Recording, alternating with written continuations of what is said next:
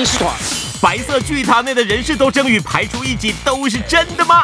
比起企业内部的黑暗，有过之而无不及。今天医师们要来分享医院里的职场斗争术有多可怕呢？今晚的好辣医师团以及三位艺人，他们在职场生涯是否也曾遇过可怕的斗争呢？工作时最严格遇到是职场问题是啊、就是明争暗斗。医生也是一样，医生不仅选医院，也要选科别，而且医院里面的明争暗斗，听说比外面很多职场还更险恶啊！到底是不是真的呢？白色巨塔里面到底有什么不可为人知的秘密？我们来看一下职场斗争术。第一，派系斗争好惨烈，选错边永无宁日。哎呦，有的请举 Q 我，哎，戏剧化的感觉哦。天哪，哎，医院这么黑暗哦。是。其实演艺圈不会有这个问题的哈，演艺圈啊，瓜哥，你们那个年代演艺圈比较团结哈。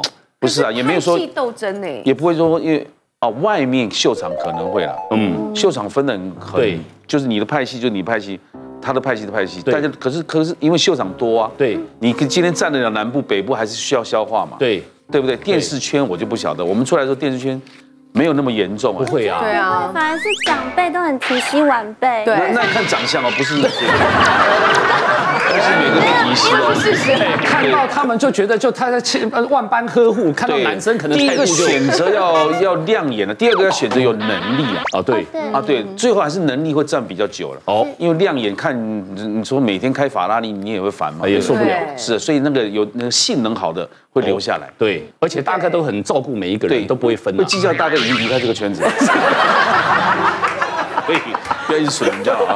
我们就讲白色巨塔，我们讲这个呃，这大家都知道哦，有人就有事，所以以前我们现在人力资源室就是以前叫人事室嘛，嗯所以有人就有事情。但是医界不一样的是，医界很重视伦理，就是那个资深程度哦影响很大。嗯，那如果在我们的大学医院里面哦，台湾有很多个大学医院嘛，大学医院里面都是教授自己就成一个山头，嗯，每个教授，像我们科有五个教授，嗯，我们科。那台湾妇产科大医院里面有五个教授，医院大概数起来不到五个了，大概很少。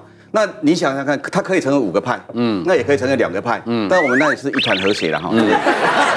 是表面上吧？对对对，但是呢，有些就不一样。等一下我们再举个例子来说。那公立医院、私立医院很多都是主任一派，但是前主任可能还一派，嗯，未来要当主任那个又一派，嗯，可能两三派，就是说，因为他已经到一个地步，已经差不多壮大起来哦，嗯，长久啊，下面就有人跟他，那跟错边就有时候蛮麻烦的哈，就是说他突然垮台，嗯，跟那个军中一样，你跟错人，发现啊。永远都不会升将军的啦，对。因为你那个人垮台嘛，就跟那个总统谁当选，哪个派系就会对。对对一政党一样。样一样的道理。那有些医院还更怪异的，他还有因为校友分派，嗯，这个什么学校毕业的一派，什么学校毕业的一哦派，各种派都都有，都有各种奇怪都有。那有的大医院就搞到最后，他必须要，他必须要怎么样做？就是把它分科。这个医院有骨科分成骨一科、骨二科、骨三科，嗯，泌尿科、泌尿一科、泌尿二科、泌尿三科，搞得那结果呢，也以为这样就解决问题了，没有，里面壮大以后再分派，这个因为因为因为下面那个又壮大了以后，下骨面。骨科一的里面还有底下一二三，越分越细。那我举个比较有趣的例子哈，某个国家级的医院的哈，嗯很大的医院，那 那也就是那几个而已，对蛮好猜的。那。个下水道科哈，嗯。嗯，也就是各位知道吗？下水道科就是嗯是不知道。赏鸟协会的嘛，啊，就是泌尿的那个，哦，OK。我们是我是没有说了哈嗯，但就是说，泌尿。就是那个科主任卸任以后调去某个分院当院长啊。啊，那新的科主任上来呢，因为并不合嘛哈嗯，他就说哦，你要选医学会理事长，嗯，怎么可以让当当当理事长？嗯。嗯，现在本人是这个这么这么大的医院的那个通令全国友好的这个下水道科的主任呢，此人不能当医学院理事长。嗯，封上。哦哎，结果我一个好朋友说，哎，奇怪，怎么我当选理事长啊？嗯，他说，哇操，真厉害。他说不是，我说你德高望重，他是不是，我捡到的，因为他们两两派斗的结果是我捡到的。宁可拱这个人，也不要让他上去就对了。所以说，真的是我们真的要呼吁团结。好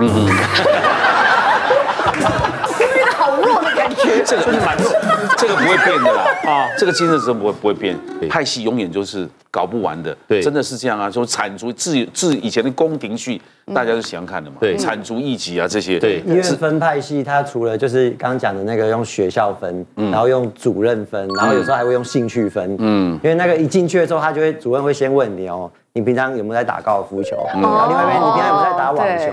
哦如果如果你或者你平常有没有在喝红酒？那可那如果你说啊，我都有，每一个都说我都会，都会，都会。那个 墙头草，墙墙头草，墙头草这种就完蛋一定有这一种。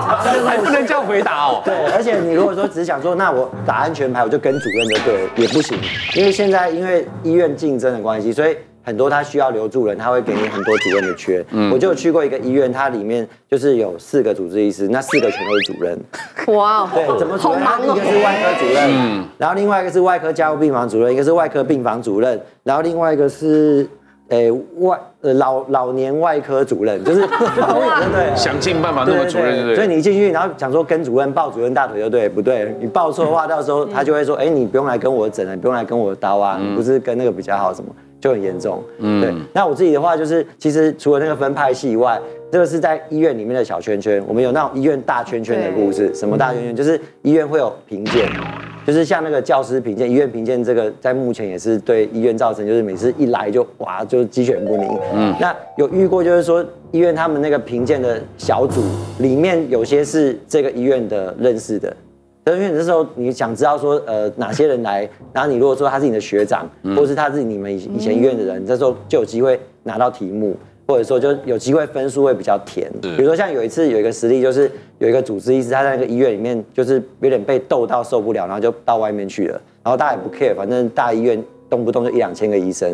就有一年《王子复仇记》，他不知道为什么他就被当选评鉴委员，然后就刚好到他这个结仇的医院去评鉴，对，他讲说啊你死定了，给我好好看就。不用看都已经打到钉了嘛。对，然后就他那一次，而且他就是因为当初是那院长有点把他扫出去了，他就是特别对那个院长特别不爽。然后一般评鉴委员他就是一群人，然后会跟着一大群医院的高层跟在旁边。嗯，然后平常那评鉴委员可能会就叫旁边的医生啊或护理师就说，哎，那你示范一下那个消防怎么操作啊，或者是如果说有针扎到怎么办？他那一次就直接叫院长说：“哎，院长，这个最近那前阵子有那个某医院他火灾，你可以帮我示范一下。假如说现在马上有火灾，旁边这消防栓要怎么用？”院长傻掉啊，他只想要说只有冲脱冲脱泡盖送，消防栓要怎么用？救火就不是他的工作对，他不是嘛，他是指挥调度啊，然后当然就很难看。然后那那个那个评鉴委员就马上说：“那不然你示范一下，那你是外科医师嘛，那么示范一下那个外科刷手的一个流程。”哦，内外夹攻大力丸，那平常医院长也不会想这么多，他就是一个大教授嘛，然后可能指挥，然后当场就连续两个白脸，然后两个白眼，然后就很难看，是僵在那边。刚刚讲的好像大家斗争都非常可怕，可是其实我们医生还是所有的出发点都是以病人为出发点。病人不要相反是不是啊？一致通过，一致通过。应该应该他怎么斗怎么斗，不会把气发在那个病人上。对，不能影响病人。对对对我们有时候会遇到这种所谓拍戏，就是说，譬如说假日的时候，像最近几乎都是流感的。那其实，在医院里面，一个医院要生存，它还是有一个所谓的绩效的问题。那各科要生存，我一定要分床位嘛，我不能说你。床位随便大家选，就是可能这一颗十床，那一颗十床。可现在假日遇到这个值班的状况的时候，你可能来的大量涌入都是一些感染科的病人，那你只好哪里有床位就塞哪里。那这个时候上班之后问题就来了，因为现在塞满这些进来的病人，一烧都烧好几天，那我病床就动不了了。我本来我心脏科病床可能被感染科占走了，我肠胃科可能被感染科也占走，这时候怎么办？如果本来这两个老师感情都还不错的，那我可能啊，我牺牲一点我的绩效就常给你用一下。可是现在如果说这两个刚好有点嫌隙的，这时候糟糕了，总医师的头就非常大了，因为怎么办？要赶快把这些病床要迁迁走，要留出活动的床位给这个老师来使用。所以有时候病床真的挤不出来的时候，这样子给去逃摸一些这样子，然后那个主治大夫去瞪的什么都还是会出现。嗯，然后还有像我们自己在。我们我们选科有两个部分，一个是我，譬如说我选进来小儿科，可我选进来小儿科之后，我们小儿科里面还有细分科，譬如心脏科啊、肠胃科等等。那我们在选我们次专科在选的时候，其实一样，不同的老师他们有不同的派别。然后在我们在正式要选科之前，其实科内会有一个很祥和的气氛，因为其实各科都希望，就像以前这个多子多生多福气，你多点人力进来我这个科系做事的话，总是好的，大家就会希望说多点人进来，所以老师其实都还会蛮。争取好一点的学生能进来选他的科室，可是，一旦如果科地科别选错的话，譬如说某个老师很想要的学生没进来，你就马上由红转黑。到时候如果说在科内在报告的时候，可能这个老师就在台下，嗯，因为你居然不在我这个就是我爱不到你，我就要毁了你，也没那么严重，可能就被变得金光闪闪闪的，就是真的在科内报告的时候，等下顶细细这样在台下真是问到，对其实现在就讲的比较不好的，就是你碰到两个人直对的，你就很为难。也有一条龙很和谐的吧，一条龙很就是也从上到下都很和谐。人越少越和谐了啊啊，一多起来大概都会有问题对对，问题就多了。那就只有诊所最和谐啦。对啊，诊所最医生跟护士。有时候和谐是假象啊，像那个医学生常会有这种情况，就是说他到外科的时候，他然后老师问他说：“你将来毕业后要走哪一科？”他说：“外科。”然后他去妇产科说：“你走哪一科？”我要走妇产科。然后每次吃饭的时候，听到他跟那个内科主任在聊天，他说：“我等一下要走内科，我现在都每天在念这个。”对，生存，所以那只是表面的和谐。求生术了。所以医生要能生存，是除了聪明过人，他的胆识也要过人，嗯。嗯，而且嘴巴要非常能说啊，而且要当很厉害的墙头草，对，那不然被人家因为他如果没有这样说的时候，他在外科的时候，那个主任就会想说，反正你之后就要去内科，那我刀就不用教你嘛，就是随便弄弄这样就好了。嗯。可是现在上面的医生也厉害。我们上次有一次，一个一个西先生就这样讲，他对妇产科有兴趣，结果旁边一个人跟我说，他已经对食科有兴趣。马上被打脸。这叫做所以这个要有预防方法。我问学生，你们以后有没有人想走急诊的？哦，很多学生就举手。我说我打分数的习惯就是吼，把你分数打到很低，让每一科都没有办法录取的这样。嗯对。你是想毁掉人家？老师是你们老师，我们复健科就是只能治疗、物理治疗跟语言治疗三个，然后我们平常也都是一团和气，平常平常但是偶尔只有很少很少的时间，组长会稍微比较我们这三个治疗的业绩。哦。然后有。就是组长会有时候会来跟我们叮咛说，哎，我们职能最近业绩好像稍微差一点哦，那大家多加油。然后我就想说，要怎么加油？怎么难不成要叫人家生病？去 对，去拿棍子把人家脚打断，出他们寻一下啊。可是隔壁的物理治疗的同事们就非常厉害，像如果我们有共同可以医治的症状，像是妈妈手啊、五十肩或是网球肘，他们就说啊，做我们物理就好了。就那你不会挨家挨户？你有妈妈手吗？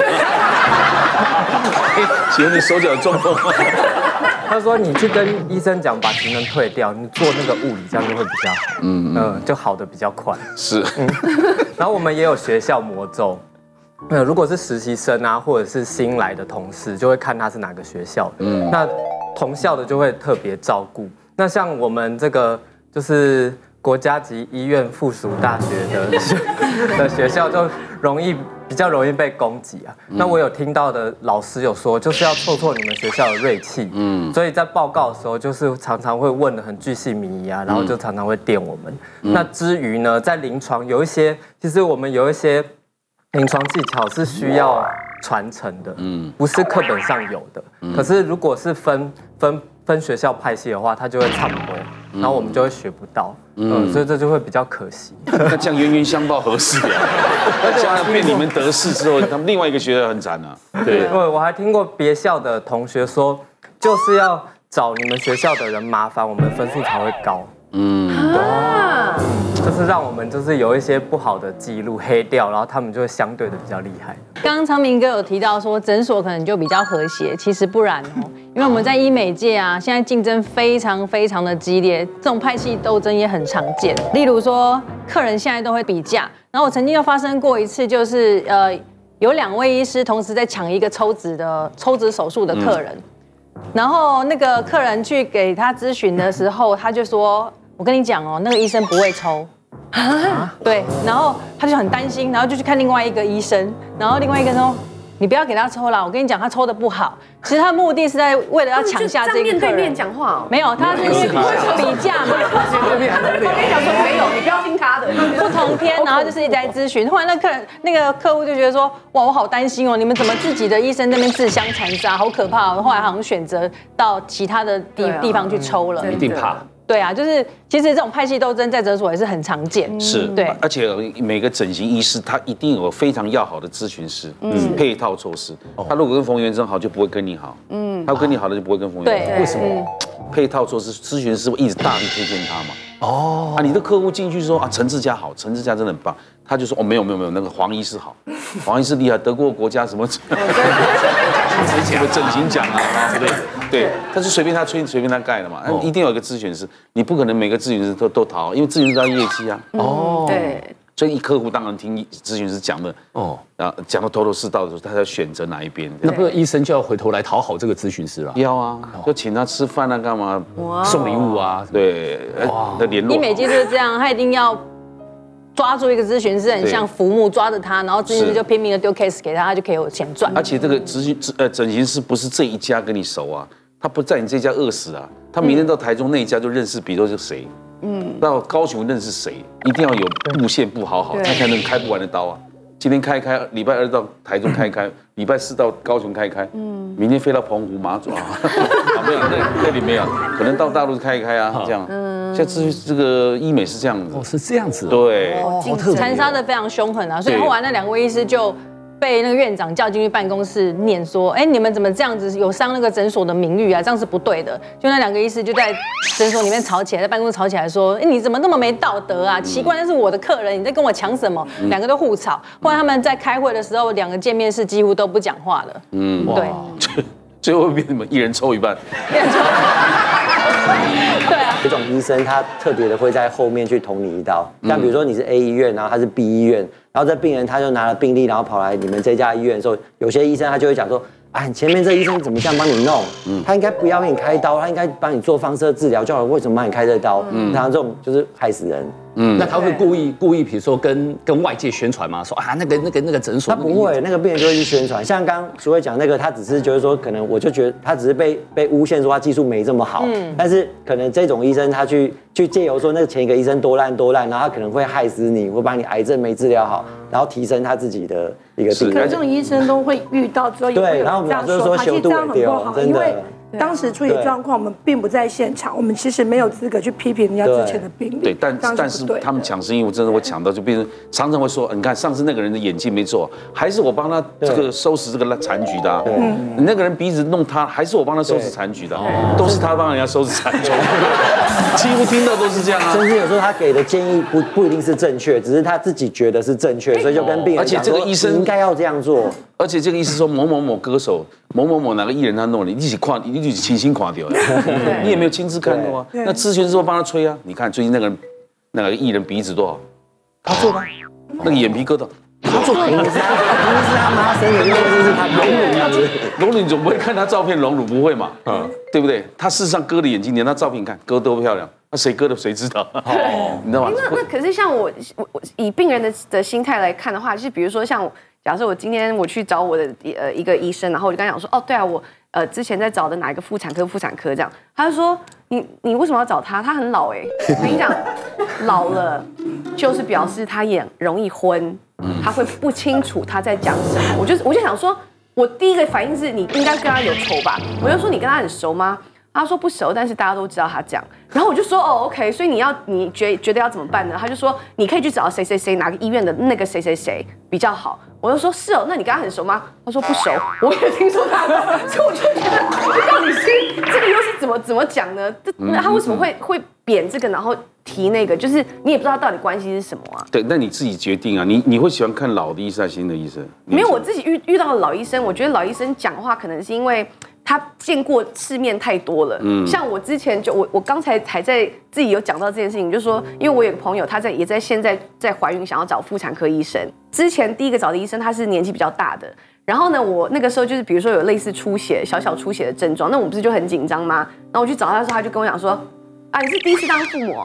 我说对啊。他说，啊，这没什么啦，就是我跟你讲，百分之十五以上的就是新。就是新手爸妈第一次应该都会流掉，没什么。我听了整个觉得，I don't want to hear that。然后他就说你不要太担心了，我怎么可能不担心？你看过那么多，我不想要听到我小孩要流掉这件事，你知道吗？我就因为这样，我就后来就换医生了。就是我觉得老医生。我我听我我第一次去找我也是因为我觉得他是这个没关系，我们请教我们的正 教正权威啊，会这样讲吗？会这样跟人家讲？实际上他讲话比较直白了哈，他讲的事实是对的啦。不要，对，但是比例上啦对对，他讲的百分比差不多了，甚至更高也有了哈。但就重点是在看太多了讲话。我知道医生种类很多嘛，也是有很白目的嘛，实际上是因人而异的。年轻医生一样有这种状况的，也是有。是啊都有。来，接下来我们看第二，碰到墙都吵，靠水行医比你强，有。好，其实像演艺圈，他们就是面面容姣好的这个女艺人，其实在这个演艺圈比较容易受到照顾。可是我们医院的生态是刚好颠倒的。我们医院生态里面，如果说你你要好好的生存，你除了要选对科，然后找对主任，你跟护理人员的相处非常非常的重要。因为护理人员他可以帮你做很多事啊，打针，然后很多事情他可以不用每件事扣你。可是如果你跟他关系不好，他大小事，病人有点发烧，病人有点拉肚子，他任何事情都可以扣你。那我们以我们的性别来讲，女医师在。在医院的护理站是比较不吃香的，那些男医师们，尤其比较会打扮啊，口才好到风度翩翩的，现在医院都非常非常的吃得开。但是我们要就事论事，像如果有时候我们在处理一些事情的时候，护理人员有错的时候，其实就是应该该骂。那我们这种恰北北的这个助那个女医师们，就首当其冲，就是我们不是因为说他对我们不好，就是真的不对了，我们就要念他们。譬如说在急救过程中，后面会检讨你这部分有疏失的，我们就是要讲。那有一次我是在加护病房里面，然后就面对一个急诊上来的一个急症处理的，那当中其实中中间真的很急。我那时候为了就是他们给药给速度太慢，所以我后来自己去帮忙拨药，就弄到自己都流血。那事后我就真的很气，我在那边跳脚，就说这种人命关天的事情，你们居然还在那边给我拖拉拉，我就整个在那边大暴走，然后那个。那个护理人员就开始在那边很受伤，在那边哭啊，整个护理站有群体攻击。我觉得张医师你也太凶了嘛，有必要一定要这样讲嘛？然后这时候我们就有一个学长，也是风度翩翩的男医师，常常大家都关起值班室才在那边讲说，对呀、为什么最近这些护理人员态度这么不好的？对呀、这些护理人员怎么这样呢？然后整个急救过程中他都在旁边哦，然后我这样子。刚念完之后，那些护理人员就群起攻击我说：“你怎么可以这样的时候？”他旁边就默默的这样子飘过来飘过去，完全没有人站出来，就一群护理人员攻击我一个医师，都没有站出来帮我讲半句话。然后之后还又走过去说：“不要难过了，不要哭了。”这个张医师长就。完全的是墙头草，在前面还站在我们这一边，一看到护理人员还要维持穿那个王子的风度，马上就靠到护理员，因为当时他们的生存手续，所以就真是看清楚了这个人以后，真的是学长心知不明了。没有啦，因因为他也就因为护护理人员其实也要相处和谐，医师跟护理人员。对，他像他这样的，当然很生气的时候，那个医师会想说，我有没有必要为了你又去得罪那些护理人员？对啊，哦，对，那他自己会增加他的困难度嘛。嗯，所以但是我觉得急救这件事很重要，就是一个步骤的闪失，这个病人可能就走了。是对我们那个就是就是刹那刹那几秒钟几分钟，病人是可以回来的。但那一次病人是有回来的，所以 OK。如果真的今天病人怎么了，可能就不止报。所以你看，一个医院的管理啊，跟这个程序没有弄好，就会造成很大的灾难对啊，对不对？这个很重要。可是你这样子跟医护人员这样子抱走以后，日后你再跟他合作要怎么开刀药修复呢？那你不会有所以我禁忌吗？们在里面就是做苦力型的，不会啦，就是其实并不是所有的护理人员都这样，只是有有些比较理性的，或者是他们那个护理长他们，其实我们就只好用我们自己的这个实力去证明，就是我们真的不比男医师差，然后我们就是很多事情我们可以自己把它处理的。然后平常没事也会说，哎，你打高尔夫球吗？应该没有人会理我。对，就是要跟他培养关系。因为当然还是我们在讲，就是以病人，如果说他看到我们的工作的付出，就是还是以病人，就病人很多在我们的急救之校都有回来的话，我觉得那些他们会撇掉这些情绪的啦。可是像我，我的很多同学，他们其实现在都是护理人员，然后我就是我们会约吃饭，他六点下班，我去护理站等他，可是他是在加护病房的，所以他的病情都比较严重的小朋友这样子，然后他的护理长啊，就只要有新的 case 进来了，护理长他要先接下这个，要做交接，交接是一个很复杂，就会耽误到下班时间。嗯，当护理长就觉得哇，为什么要耽误到我下班时间的时候，就会有学姐来，学姐说护理长这个交给我就好了。就会帮他接手下，让护理长可以准时下班，可能回家带孩子啊，还是什么的。嗯。可是这个学姐一转头啊，她就说：“哎、学妹，那个给你哦。”就整个他因为加护病房一个人照顾三个病床，已经是压力很大。有功自己揽嘛，对责任丢给学妹。对。他转头，可是我我朋友就是那个学妹啊，我从六那点一直你是来帮他出气的，对，我等到八点钟，因为他新的病例，而且他自己接手的三个病床的那些今天做的什么事情的报告都还没有写完。我就说我可以帮你什么？因为我觉得他很辛苦，这不止医师很辛苦，可是护理站的人员其实他们学妹在那边待多久了？十一年了。还没升起来啊？十一年很久哎，十一年，十一年应该是最起码中间那个的吧？对呀，哎学姐你就写来，好好给现在她。剩半个学姐了。对呀，应该做十一年也。那他不会自己再丢给另外一个学妹啊？对呀。这个真题就是学妹有在补进来，可是学妹都待不住，因为加护病房压力太大，所以她还是那个学妹。所以十一年还是最菜的哦。对啊，感觉是这样。不要说是到胡瓜那个位置，到胡昌明位置也有，最起码嘛，现在还还在搞的这个对对卡古这个角色？而且刚刚讲说演艺圈漂亮美眉照顾，现在谁敢照顾啊？这三五年他要上节目啊，那是瓜哥对我很好，还他常常用手摸我的大腿，谁敢照顾啊？拜托，现在手机都很多，还能乱讲，明天又跟新闻讲啊，你看。我有听过的墙头草就是，只要单位有新人来，他就会跑去跟组长说：“哎，组长，我来，我来照顾这个新人，你交接都我来做就可以了。”然后就跑去跟新人讲说：“呃，不好意思，学学弟或学妹，我不跑、不拿、不收、不按，那这些东西都是你就要帮我做。”然后组长就会觉得哇，他很棒，然后会教新人，然后新人看新人就是忙来忙去，就哇马上上手，殊不知就是他把他自己的工作就丢给别人，嗯，对，然后我们就觉得哇，好厉害，这是 很厉害的训练训练领导的对呀。同样是一件事，看你手法怎么用而已，对不对？对对，还有说的比做的多，嗯，像是我们复健科常常会有很多人一起涌入那个复健科的治疗室里面，那因为这样子，所以很难计算业绩，那通常是大家凭着良心平均分配，那就会有一些比较轻松的工作，然后。呃，比较擅长于呃社交的治疗师就会很关，常常去关心一些病人，然后他就让其他人在旁边跑，然后他就呃问那个人的啊起居啊很关心，结果病人对那个治疗师评价超高，因为他对他们非常关心，然后就写那个意见回馈表，就说哦此人就是很关心病人啊，医术又好，然后其他的人都忙得要死，然后又被说臭脸啊，然后很没、很没有礼貌什么，然后就好处都给那个人占据。教小孩子不要善太过于心机呀、可是你看了，现在的社会，你不用一点心机，你讨不到好处。哎，真的。不过你讲到心机，再加上你说说的比做的多，说的最多当然就演艺圈，就整天都要靠嘴巴在讲话嘛。多年前哦，曾经我在活动场合遇到一个艺人，然后这个艺人女的，嗯，她沉寂了好一阵子，整个当下几个字，几个字，主持活动的嗯，三个字。好，然后呢，他整个荡下去，沉寂很久了。就后来那时候碰到他说：“哎呀，昌明哥，那如果有计划，提拔小妹一下，然后什么什么的。”我说：“啊，是啊，你最近不好这样。”他说：“最近过得都很差，都没有工作机会，点点点叉叉的。”我说：“好好好，我知道了。”那后来我们当然有一些工作机会来找的时候主持活动，那如果需要，刚好有要搭档嘛，哦，一男一女，那我们就顺便问一下，哎，那你们如果有需要女生的话，呃，这个人你们可以考虑看看哦。那那我们做这些动作，直到后来呢，哎，他也当然他自己应该也很努力啦，慢慢慢慢爬上来，哦，那个活动量大到不行啊。然后大到一个我我一年当中啊，会跟他搭档组织活动，大概就好几个不同的厂商。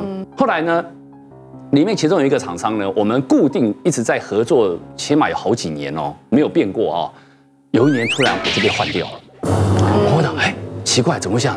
就换成另外一个男的。后来一探听啊，那个男的跟他在一起，好，就把我给换了，他的老相好。我想到啊哦啊哦，好，如果是你的老相好，我也没话说了。这可能是误会吧？你有查清楚吗？呃，因为有一天呢，这件事是有一天呢，刚好我们三个人在走廊不期而遇，然后呢，我就顾顾就在寒暄啊、聊天啊你。说跟他们夫妇不期而遇，哎，你干嘛说出去？后来变夫妇了，后来这个人还没有名声的啦哦，是。然后呢，我当我就过去呢，跟跟这个男生讲，我说哇，那你真的你真的很好命哎，他很照顾你哎。我说以前我那个厂商我那个活动，我跟他合作那么多年了，就你们在一起之后，我就被换掉，就换你了。然后就这个时候，但这个男的说啊，真的好啊，我不知道这件事情啊，不好意思啊。女的就一脸尴尬的没讲话。嗯，哦，那除了这个，我想说好，那你的老乡好，那就算了嘛。另外一个活动也是连续几年，我们也是一直搭档，嗯，那每年的尾牙。但是呢，有一年这个女的被换掉了，嗯。然后因为厂商可能要省钱，就只留我一个人，嗯，只留我一个人，那我也不想要被换掉啦。好，结果后来他就打电话跟我探听，他说：“哎、那个活动他为什么没有了？”我说：“哦，是我不晓得，我我我是还有，他有通知我啊。他说：“哎、怎么这样？哎，行，那我了解看看。好，我说那你去问问看。我电话一挂，他的问问看是怎么问呢？是直接打给厂商。他说：不是嘛，那你就不要用侯昌明嘛，你用我就好。对对对对，哎，他他说他说那用我啊，而且我还可以再带表演，我可以带模仿啊，我可以带什么？就后来厂商可能他觉得还是用我，嗯，但是把这个事情告诉我，嗯，我才知道，嗯，而且这个啊你讲的这个人，我我想应该是同一个人啦，因为他好像真的对在圈内就是对所有主持活动人都是一样的手法，比如说他自己会长期下来跟厂商就比较熟了嘛，他就会自己打给厂商，就说哎、你们那个那个不是接下来的活动是什么时候要开始？那你们找找好主持人吗？比如说他就说对啊对啊，我们这次要找 Ruby。哦，你找 Ruby 啊？那你大概几万？可以告诉我吗？然后假设说，比如说呃几万哈，他就说好。假设我说呃，他说哦大概八万，他就说那我告诉你，你给我，我给你六万，我还附加另外一个人，嗯，就是他会用这种方式来交换，所以很多人都知道他是这样子，所以他活动对变得很多这样。是。子。我已经很多年没做活动，早就被你们抢光了。哎呀，瓜哥那么多，我找八个人。来，第三，小人陷害黑锅背不完呐、一直蛮那个尊师重道的，在教师节的时候都会写卡片给那个我们的主任或者是来教过我们的老师。然后每次到那个时候的话，就全科会准备一张比较大的卡片，然后每个人都写一句话，然后很温馨这样子。然后有一次后来就是卡片送给那个那个主任，那个主任是别的医院来，他不是每天都在。他说他卡他那个卡片拿了就走，那我们就再看不到他。结果同事跟我讲说，哎、陈翔你那个那个写祝贺的那一行话的最后面啊，被写一个小小的那个凸凹凸的凸，嗯，凹凸的凸。然后我就当下没有想到，然后后来才想说，你这样到时候就是对主任不敬，然后才想到说，原来那个凸就代表比中指的意思嘛，凹凸的凸，就是被人家偷偷加一个那个凸。然后我想说死定了，因为那个那个老师他不是每天在我们医院，他只是就来一下，然后卡片拿回去，万一他看到就惨了。然后后来还好，就是去 follow，就是呃这个这个那个凸那个字，那个老师可能就是比较长辈不懂，所以还好没事，差点就是中枪。然后那老师回去没看卡片，他其实可以凹啊，那个就是代表突出。对，吓死人。然后那个那个同事后来就是，就大家就知道是谁，因为其实那个笔的颜色他没有注意到，所以就被被大家知道是谁。然后那个同事他平常就是在他的那个，因为我们每个医生都有一个小小小的那个隔的空间办公桌，他的那个办公桌上除了一般的那个文具用品，他一定会放一个仙人掌。嗯然后后来就有人在问他说，为什么你要放仙人掌？以为是绿化什么？他说没有，你不知道现在医界很黑暗，小人非常多。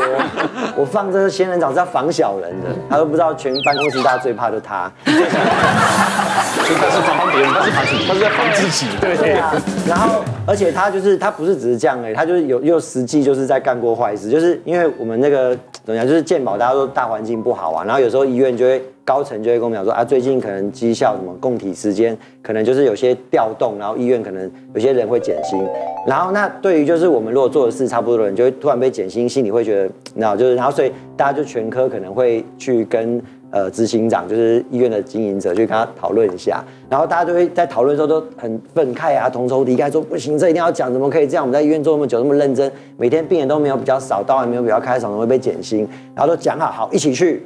然后去的时候，然后那个执行长就问说：“那怎么样啊？就是你们今天是什么事？”然后一提要减薪的时候，然后他就突然就放炮，就说。没有啦，执行长真的，我其实是不得已跟他们一起来的，我真的不想来，但是因为全科说好要来，我只好跟着来。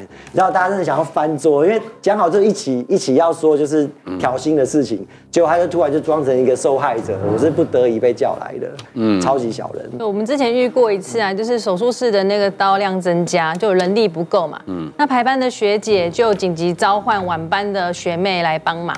那学妹就也人很好，就两肋插刀，连妆也没化，因为很紧急，就赶快直接飞车，十五分钟之内就来单位帮忙了。就换好衣服一进手术室，想要赶快进去协助的时候，一开门就被上刀的医师疯狂噼里啪啦骂他说：“你都已经几岁了，你上班还会迟到，你到底有没有责任感？那那学妹就想说，好冤枉哦，她是特地来帮忙，并不是迟到。她就想说跟那个医师解释说，我是来协助的。他正要开口的时候，就看到排班的学姐站在医师的后面，就这样一直眨眼睛，这样一直眨，一直眨，跟他眨说，嘘嘘嘘，意思是叫他不要说，然后学妹就想想吞，就把它吞下去就不说了。后来那医生就是因为这个学妹啊，他觉得她的表现不好，然后迟到，他对她印象就很差，然后上刀的时候常会刁难她。那我们就看久了就觉得看不过去，怎么会？呃，就是其实学妹不是这种人，然后我们就想说，就跟那医生解释说，哦，其实那一天的状况原缘由是说，呃，学妹其实来帮忙，她不是真的迟到，但是那医生听到的讯息是说，那个学姐告诉她说，啊，那个是那一天哈，是因为那个学妹睡过头啦，嗯，就是这样。然后后来就是那个医生之后知道这件事情之后，他就跟那个排班学讲说，以后不可以这样子。然后学姐因为这件事情爆发之后，她也觉得说。可能觉得不好意思，他就离开那个单位。嗯，哇，听你们讲好可怕，好像《琅琊榜》啊，甄嬛甄嬛传啊，什么这种连现实生活都上演了。这种人圈内太多了。你像像亚兰曾经上一个节目，我以为亚兰是，不 是亚兰是这种人呐。亚兰曾经上一个节目，然后在录影的当下，录影都要事先要蕊一些你的内容嘛，讲一些你的故事嘛，哦，然后蕊完了以后呢，但但那蕊的当下呢，呃，气话。三个女艺人全部在一起蕊，所以大家都知道说，然后脚本也会写说谁的谁的哦，所以呢，大家都知道说这是你的，这是我的啊。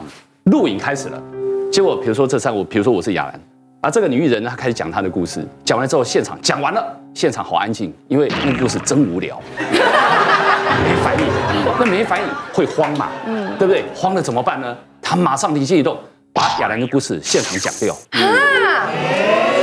现场一讲掉了之后，亚兰在这边傻了。他看，嗯，那是我的故事，你把我讲掉了。待会主持人 Q 我，我讲什么东西啊？空掉了，你知道吗？那是当然还好，亚兰他实在是学识渊博了。还好他又又又挤出另外一个了。但但是这种事迹啊，你说事后我去探听了一下，哎，这个人的这种行为还不是第一次啊。我说，哦，那很头痛。所以你知道我们为什么都不蕊？为什么？因为我们永远都被偷的那个。真的，你讲的都我们都有感受，都感受对不对？啊，比如说去做电影宣传，讲私下，哎，这是 life 的，你怎么办？对，嗯，呃，包包括金钟奖也是 life 的，嗯，你有时候跟他讲好，他又不来彩排，到了现场又把你话讲掉，哦，你这很惨啊。接下来呢，我们来看看第四，职场故人怨。白木哎，白木鬼处处有。其实讲到这白木鬼的故事，其实我们生活中已经有，但是我自己就是有一次又不小心自己就当成了白木鬼。嗯。因为啊，其实这就警告大家，就是说你在职场上，不管人家在旁边跟你打探什么事情，大家都要非常非常的小心。因为我那一次啊，就是一次下班之后，也是在那个护理站，我就在那边写病历，然后忽然间就有那个比较要好的那个护理师走过来说：“哎哎，张医师。”你们好像每天都很累哈，我想哇，终于有人知道我们很辛苦了，马上就这样心情放松，就讲当说对呀，真的很累。他说哎，你们都几点查房？我们老我们主任老了，他每天都啊五六点就要起床。你看我六点半就要查房，我六点半要查房，我六点就要从家里出门，我五点半就要起床。我就在那边正面不觉得在那边大放厥词的时候，忽然间我头一抬，护理师全部都不见，都跑回去他们的位置在写病历了。他说哎哎哎，你们你们怎么？我还没讲完呢。然后忽然间旁边又非常非常的安静，然后我就头一回。我们主人就站在我后面，然后他说怎样？刚好很累啊。我说。嗯，主任没有，没有，真的没有很累。这个是我应该要。我这次我那一周我完全不敢迟到，因为我超容易迟到，然后在那边找不到我们主任，惊慌失措。接下来我那一两个月哦，皮绷的超紧的，不管人家在哪个，就在公共场合问你说，千万不要随意的讲出自己的真心话来，因为一不小心就变成白目鬼了。所以你要学习那个军中的一句话：是合理的是训练，不合理的是磨练。对，要习惯，我们都习惯了。其实。其实我其实我有觉得未必耶，说不定那个人像我们看到这种人，反而觉得挺可爱的，很真诚的。其实看那个人心里怎么想。对，但我们觉得这真的对我们蛮好的啦。其实有时候你觉得拍马屁哈，你拍不对，那个人就是讨厌拍马屁。对，也有啊。像刚刚那个就是隔墙有耳这种事常发生，因为我们那个整间跟那开刀房其实隔壁都有一间，有时候讲话大声你就被听到。甚至有一次有一个最 最惨的就是一个实习医师他在跟帮病人做治疗，在抱怨，因为他们那个拉帘是那个布的嘛。你看不到隔壁床，然后就发现就主任在隔壁床，他那个只是一个布帘，讲话听得超清楚的，都不用看脸就知道是谁。对，然后然后像这个是职场部分啊，那呃，其实真的比较白目是，就是一届有发生过几次啦，就是那种那个 PO 照片的事情。哦就之前有看过新闻嘛，就是那个手术房，特别是手术房跟急诊，那可能那个新来的护士就觉得好玩，然后什么事都一定要打卡，连车祸跌在地上都要打卡，所以看到那个病人就是哇，好新鲜哦，今天那个肠子掉出来了，好开心，真的是他想说不要拍到脸就没事，结果其实其实不行，这是违严重违违反医医学伦理。对啊。你就算没拍到脸，但是你就是不能够在手术房里面把这个照片剖出来，然后可是他其实更夸张是为什么就要特别提出来讲？因为他除了剖那个呃比较血腥的不太适合的照片以外，然后他下面还加了一行字，就是哇，这就是有点揶揄他。那我不要讲得太习惯，就是呃，就是他就是有点揶揄这个病人这个肚子肠子这个情况，嗯，对，然后就整个下面就 FB 就爆掉，下面就妈这血腥啊，什么没的什么，那怎么没有基本判断的尝试？哦对啊。有很多也也真的也会有这种人。这种可能真的就不是人啊，我觉得他的他的人格特质就不适合做医对护人员。他没想那么多，他以为没拍没拍到脸，可是其实这样子动作非常不 OK，就非常白目不。尊重对真的。对，就像有时候我们去公益活动，嗯，其实很多很可怜的小孩子，你就不能跑，你不能拍了泼上去啊。对对啊脸不能因为尊重他们嘛，哎，可能可能真的有白目的就泼上去怎么办？嗯，就这种你本来就要教育，要先教育他们。刚刚说的那个隔墙我有耳哈，那让我想起来，我们常常见到那个啊医生哈去尿尿的时候哈。就讲一堆别人的闲话，不晓得老板在背后上大号。哇，我见过不下几十个。我跟他说，你不知道里面有没有人啊？就常常出来，哇，完了，这样就惨了。我很多同事都发生过，我自己年轻的时候，不就便秘了一个礼拜了？怎么收防你？这都要小心。那我讲一个比较白目的是，我我有一个以前哦，大概一二十年前有有一个医师哈，实实习医师，他他就眼高手低，年轻人就真的白目。他他上了大概几次剖腹产，就是说觉得很简单，因为剖腹产大部分的主治医师跟住院医师两个哈，然后他旁边通常是最后的时候，如果主主治医师离开。放手给那个关皮肤的时候，他才有事情做，不然他都没有事做啊。那个实习医师他就觉得我你们两个一直从头做到尾，就就最后只剩下那个要关皮肤，他走了才我才有机会。如果他不走，我还得根本没机会，只有顶多拿个剪刀剪线，你知道吗？嗯，他就说护理师叫他，他说我不上刀。他说为什么不上刀呢？这个礼拜你你跟那个他，他说啊这个简单，这个刀太简单了，我看几次就会了啦。嗯，那主治医师听了很火大，他说叫他马上来，立刻过来。嗯，他他过来以后，他跟他说你是这礼拜跟我是不是？嗯，他跟主治医师说是的。他说你你你衣服换好了，换好洗刷手上来，来这个位置给你。嗯，这主刀的位置给你啊。嗯，他吓字了，他说你不是说都会吗？开始，请开始。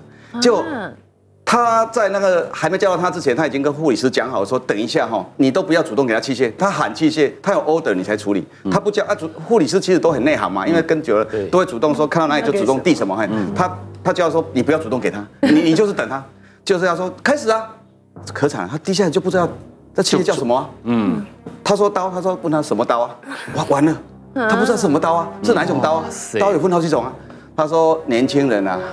不要眼高手低啊！嗯，我就说哇，这是很白目。我说这辈子他应该教训很大，真的超白目了。就是实习医师就已经这么嚣张了，真的是糟糕。可能是那个病人吧。